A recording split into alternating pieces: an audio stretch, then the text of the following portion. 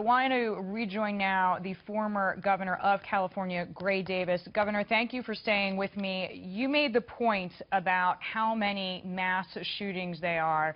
Uh, there was something like 334 days in this year so far, 351 mass shootings. And that's a higher number, something like 363 in 2013, even higher in 2014. The point is the number is high and it is climbing. What can be done?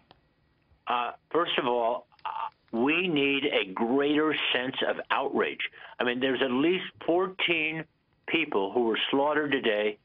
They had people who loved them, uh, children uh, that they were raising, parents who cared for them.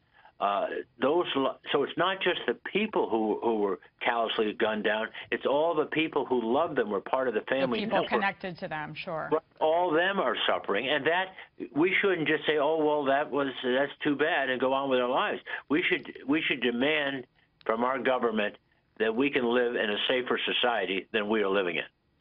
Any advice to President Obama, Governor?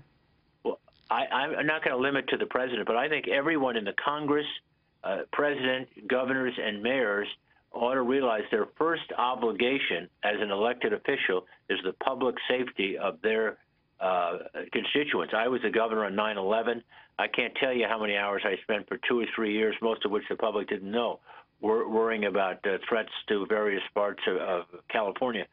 So that ought to be their highest priority is the safety and security. And there's a lot of things they can do with their in California. We have city police, we have county sheriffs, we have the state highway patrol, similar setups around the rest of the country. Mayors and governors can make a big difference all by themselves, as well as the Congress and the president. Governor, so glad to, that you could join us. Thank you for the time. Former I Governor of California, Gray Davis.